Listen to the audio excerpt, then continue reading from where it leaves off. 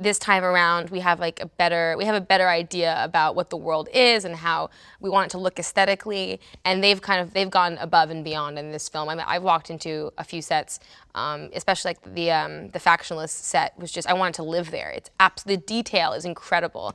Um, it's really it's really excited. We've definitely stepped it up a few notches with the sets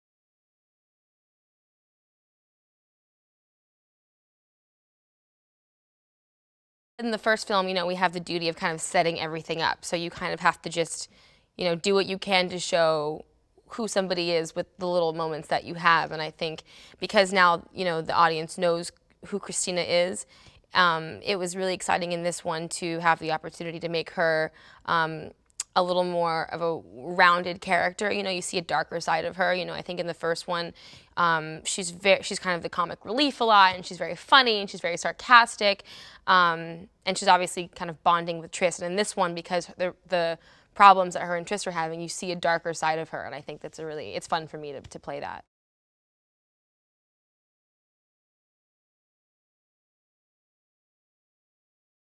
We all love each other. I think um, we got really lucky with the people in this film. Everyone's kind and funny, and no one takes any of it too seriously. You know, the set is a really fun place to be.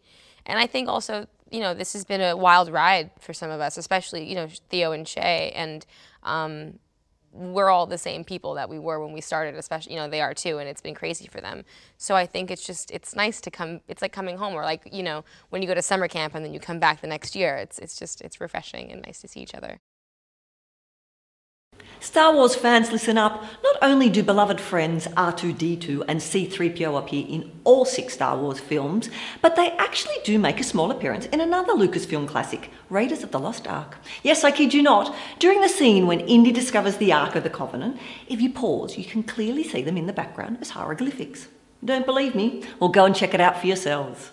Subscribe to keep up to date on all the latest trailers. I'm Lisa, and thanks for watching.